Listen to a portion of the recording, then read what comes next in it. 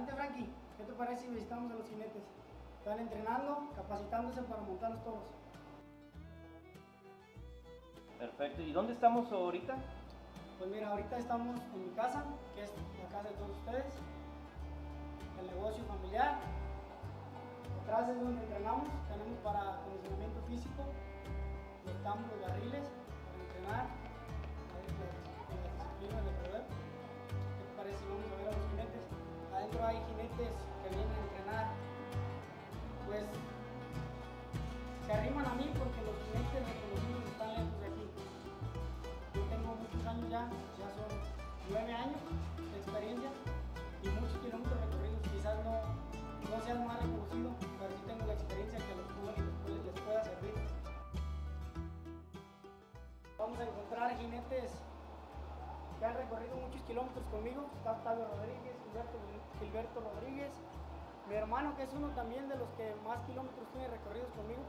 Vente Frankie, vamos para que veas cómo entrenan.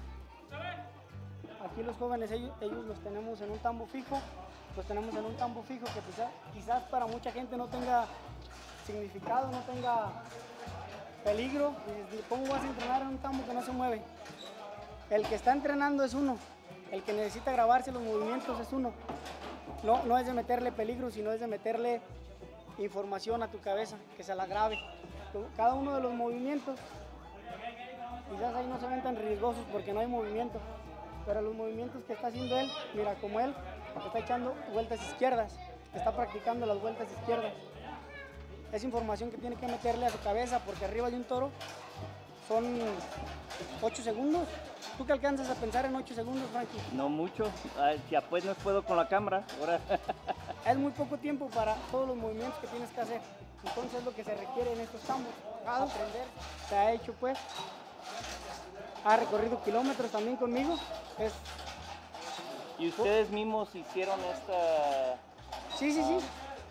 A base de viendo, inform- de- viendo imágenes, viendo, viendo, viendo canales, YouTube, viendo, pues ahora sí que las redes sociales, el Face, Y así es como lo aprendieron para hacerlos. Así es, aquí, así es. todos los de aquí ya, se- ya, ya montan a... Mira, a- a profesionalmente y los que más han recorrido kilómetros conmigo está Octavio Rodríguez, que también pues últimamente no, no ha estado mucho en, en el rodeo porque él es carro, pero también está muy activo. Gilberto Ro- Rodríguez, que son hermanos, son de los que tienen pues, la vida más activa porque ya montan profesionalmente, pues, ganas y ahí Y de edad... Ah, Ahora sí que hoy se juntaron los más disciplinados. Está Fabricio, está Orlando. Y, y ellos dos son un poco más nuevos, pero le han puesto muchas ganas. Hay muchos jóvenes ¿Desde, aquí. qué, hora- ¿Desde qué edades empiezan aquí? Pues mira, eh, no sé si quieras pasar con cada uno de ellos. Hay un eh, Fabricio. ¿Cuántos años tienes, Fabri? Él tiene 17 años.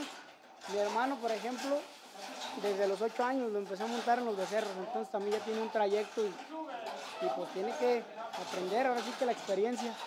Pues, pues ese tambo Ajá. prácticamente se trata de hacer los movimientos de un toro. Ajá. Mira, si te fijas, él es uno de los más experimentados. Lo hace ver fácil. Pero ahorita te vamos a grabar a ti ahí A arriba a haciendo esos a movimientos. ver qué tan fácil es. Y para que nos platiques que si es fácil o no es fácil. Los entrenamientos sean diferentes. Por lo regular, tratamos de hacerlo una vez por semana en toros, en verdaderos toros, para que tengas la emoción, pues, no pierdas en los caballos, en, en los barriles.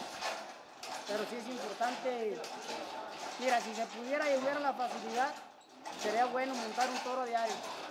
Pero pues a veces no, no está fácil. ¿Cuándo deciden para subirse a un toro de, de verdad? Pues eso sí que, eso es la, como la confianza de uno mismo. Cada, cada quien dice, no, pues yo ya me siento macizo para, Pa' siento que hago bien las cosas, siento que se me facilita. Y también pues uno con más experiencia dice, no, pues sí, tú puedes montar este nivel de toro.